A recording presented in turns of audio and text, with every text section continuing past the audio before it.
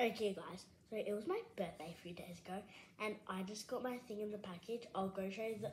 I'll be back. Okay.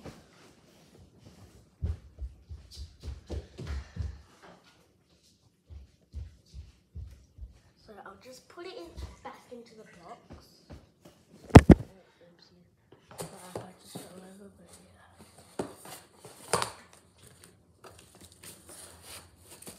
Oh. Okay, guys. So my dad got me a.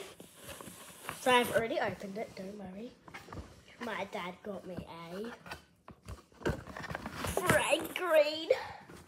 Actually, look like. The information. Look.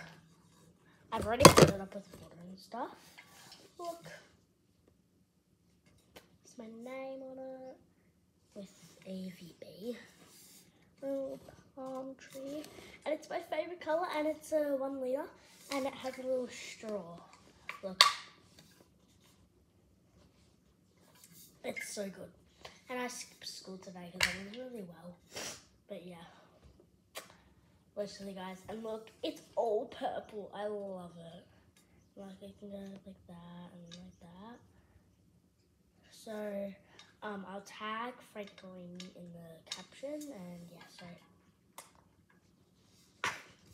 bye guys.